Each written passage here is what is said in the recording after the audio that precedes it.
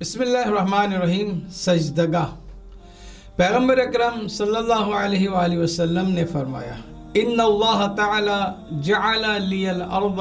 मस्जिदन व तहूरा। हुजूर फरमाते हैं कि बेशक खुदावंद आलम ने मेरे लिए ज़मीन को, नमाज़ की जगह और इसके खाक को पाक करने वाला करार दिया है। शर फारसी शहाबुल अखबार, मतन सफ़ा तीन सौ उनहत्तर। पैगंबर अक्रम फरमा रहे हैं कि ज़मीन, जो मिट्टी है, जो असल ज़मीन है, वो मस्जिद है। मतलब कि हम जहाँ भी चाहें ज़मीन पर सजदा कर सकते हैं, नमाज़ पढ़ सकते हैं, और उसकी खाक भी पाक है, उसे हम तहारत के लिए इस्तेमाल कर सकते हैं। यानी दो मसले को यहाँ बयान किया जा रहा है। एक सजदे की जगह को के लिए और एक तहारत के लिए। तहारत मतलब तयमुम का इशारा है इसमें। और मस्जिद यानी सजदा करने की जगह का इशारा है। तो मिट्टी में सजदा किया जाएगा और मिट्टी से बनी चीज़ों पर सजदा किया जाएगा।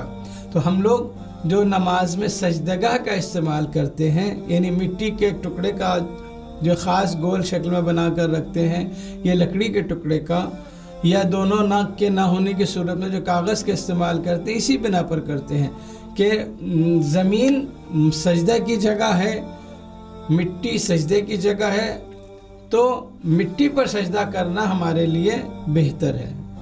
बल्कि मिट्टी पर सजदा करना हमारे लिए ज़रूरी है, क्योंकि पैगंबर फरमा रहे हैं कि अल्लाह ने हमारे लिए मिट्टी को सजदा करने की जगह करार दी है। यानी सजदा करना है तो मिट्टी पर सजदा करना है।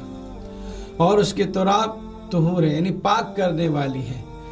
यानी अगर पानी ना हो तो उसकी सूरत में जब तयमुम हम करेंगे तो मिट्टी की खाक से करेंगे, ज़मीन ही से किया जाएगा। तो सजदा और तयमुम ये दोनों इस हदीस से मालूम होता है कि हमें सजदगा पर सजदा करना है, इसलिए कि मिट्टी से है, खाक पर तयमुम करना है कि वो भी मिट्टी का एक हिस्सा है।